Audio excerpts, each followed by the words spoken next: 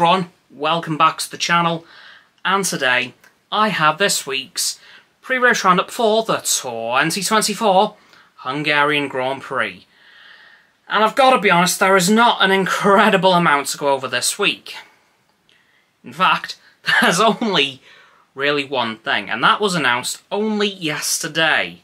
And that is the fact that Kevin Magnussen will also be departing the Haas team at the end of the season, which means that next year Haas will once again have a completely new driver lineup um, of Ollie Bearman and who we expect is going to be Esteban Ocon.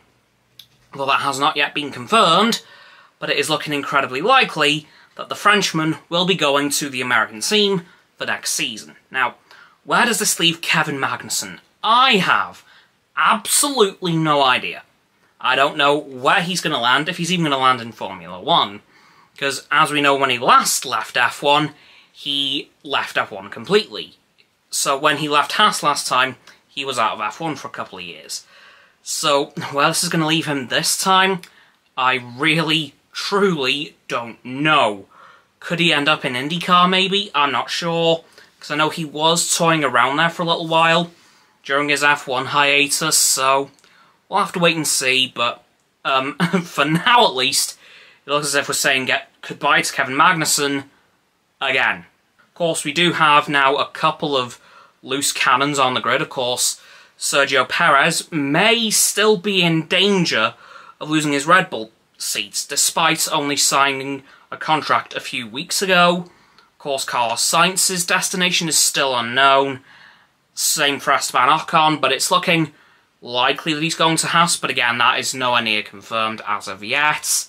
So, Sergio Perez, I think personally, if he were to um, leave Red Bull, he would probably retire. As for Carlos Sainz, I'm leaning towards Mercedes for him. And for Esteban Ocon, as said, I think he's going to be going to Haas. But that's kind of all speculation. Of course, over the next couple of weeks, including the summer break, which is only um, coming up after the next race, I think we'll learn a fair bit more about next year's driver lineup and who's going to be where and who isn't going to be in F1 anymore. Um, so yeah, that's going to do it guys for this week's um, pretty quick pre-race roundup for the 2024 Hungarian Grand Prix. So please, like this video, subscribe to my and Roxanne's channels. Her link is down in the description. My button is down there. Please click those and then the bell icons to get both sets of our notifications. Comment as well, because why not? And let me know what you guys think of what I've talked about today. Where do you think Kevin Magnussen's going to end up next year? Where do you think Esteban Ocon will fit in? Do you think he'll be replacing Kevin? And where do you think Sergio Perez and Carlos Sainz are going to end up? Because those two particular drivers are very hotly debated right now. Once you've done that too, please follow me on my social medias.